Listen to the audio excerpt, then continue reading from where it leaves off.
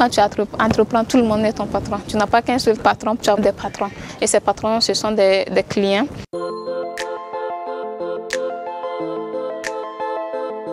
Je suis Konate Fatmata. Je suis étudiante en Master 1 de nutrition à l'Université Aube Nouvelle de Bobo Djilasso.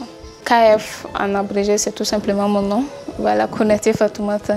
Les amis m'appellent couramment KF, donc j'ai préféré maintenir ce nom-là comme une marque. La KF Industrie euh, est spécialisée dans la transformation de l'arachide en pâte d'arachide, mais aussi en poudre d'arachide nous sélectionnons les graines d'arachide avec rigueur. Nous enlevons toutes les graines qui sont perforées, qui sont pourries, qui sont susceptibles en fait d'être contaminées par la flatoxine.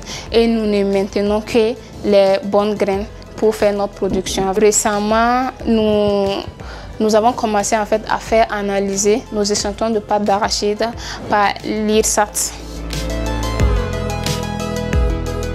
Quand j'ai décidé d'entreprendre, vraiment la maman ne m'a pas immédiatement soutenue. Mais j'essaie en fait de la comprendre parce que j'étais étudiante, ils ont payé 880 000 francs pour ma scolarité.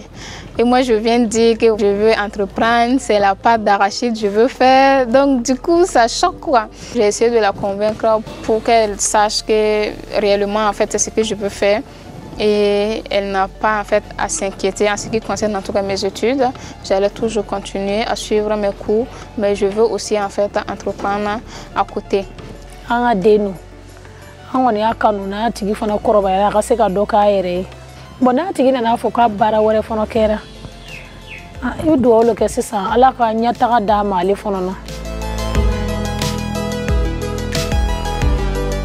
pas dire qu'à cause des études, voilà, je ne vais pas entreprendre. En tout cas, quand il y a la volonté, on trouve toujours un moyen de le faire. Je peux dire qu'elle a été une de nos premières clientes puisque la vision d'abord de cette euh, boutique-là, c'était seulement axée sur euh, les produits locaux. Donc euh, depuis qu'on a mûri cette idée-là, elle a été l'une des premières qu'on a contactées, vu ce qu'elle faisait déjà et qui faisait la fierté aussi de toute la région et partant de, de, de tout le pays.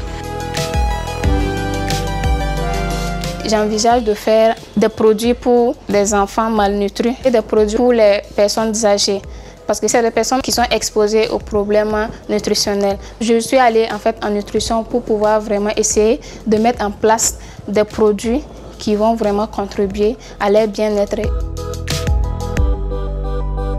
Mes ambitions, c'est vraiment d'avoir un local qui sera un peu grand où je pourrais faire et, la production, euh, le conditionnement, la conservation et même aussi le stockage aussi de la matière première.